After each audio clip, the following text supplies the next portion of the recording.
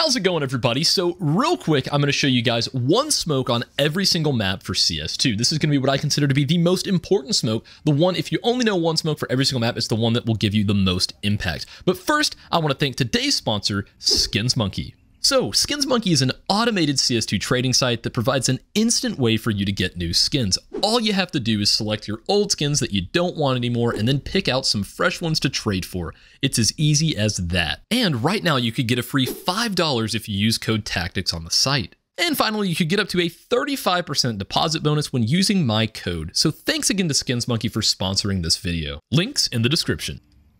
So let's jump right in. So starting off with Inferno, I would say the most important smoke that you can know is whenever you get this spawn right here, this far back one closest to the fence, if you do a W jump throw right up here at this little circular part on the left side of this double roof, you just do a simple W jump throw, that's going to go all the way up into mid. It's going to bank off the sidewall and fully smoke off the dead center of mid, allowing you to take a ton of early space and even fight towards alt mid without the T's ever having any info up towards top mid. It is an absolutely meta smoke. You'll see it thrown almost every single round in pro play. And moving on over to Overpass, I would say the most important smoke to be able to throw is the early monster smoke. So you just go right here into this trash can corner right off spawn as a CT, and you do a jump throw right at the far left-hand side of this little electrical pole. It's going to go all the way down here. It's going to bank off the railroad tracks and pop right in front of Monster, catching the timing to where as the T's are running out, well, they're going to be smoked off, and it makes it way easier for your B players to handle those sorts of rushes. And moving on over to Nuke, I would say the most important smoke for T side that I just love throwing every single round as I'm pushing outside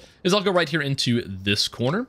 I'll go all the way up to where the left-hand corner of this building intersects kind of with the top of this railing. So I'll go straight up to right here and I'll do a simple jump throw. And that's going to go all the way up, and it's going to end up landing on top of Mini here, and it's going to spread down to where anyone down here in Mini, well, they have absolutely no visibility whatsoever.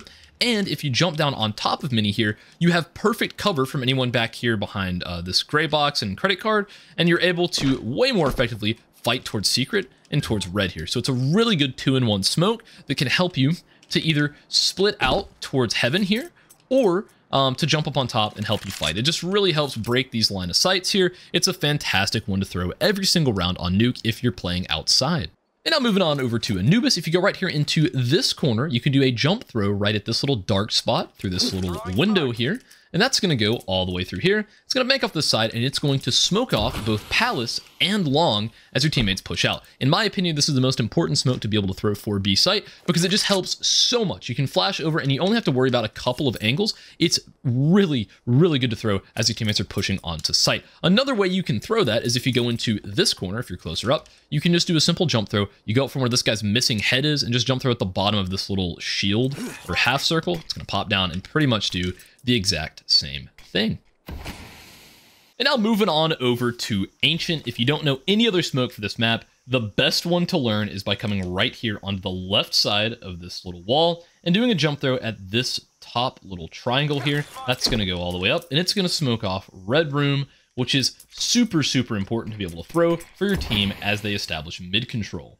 And now moving on over to Vertigo, I would say the smoke that I have thrown the most in all my time playing this map is I come right here into this corner, I'll crouch, look at the corner of this box, stand up, and just do a simple left click. The reason why this smoke is so powerful is it's going to smoke off this right side here, but if you cross on the close side of this box, right, the guy up here in connector is not going to be able to see you. As you can see, I'll place a bot here just to prove it. If you come up close on this corner, this guy absolutely has no visibility on you whatsoever, right? So you're able to come up close here and only worry about this one angle considering that you've already cleared out or mollied out these positions, right? So it's probably the best smoke to throw just on the basis that you're able to isolate this one particular fight on the left side of generator as you push up and take site.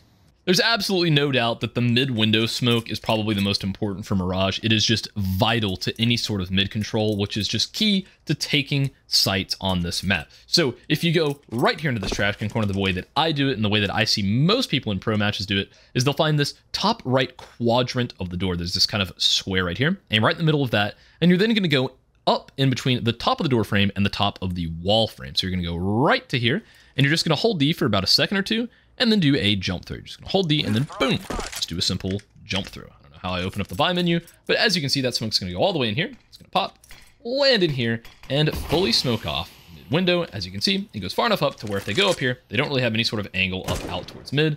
Um, so it is just kind of the meta smoke to throw. I find that one to be the most consistent. I know a lot of people have trouble with that just because it's, you know, there is a little bit of variable with having to hold D for a couple of seconds or whatever. Um, if you have a better way, let me know down in the comments and maybe I'll include that in the next one. And finally, since I haven't covered her in quite a while, for Dust 2, if you go right here into this corner, like on the building, and just do a simple jump throw in the bottom left quadrant of this little window, that's going to go all the way up here. It's going to bank off this back wall and smoke off Xbox to allow your team to push up and take cat control without having to worry about getting AWPed or peeked from mid. So yeah, I hope this video helps you out in your next CS2 Premier match.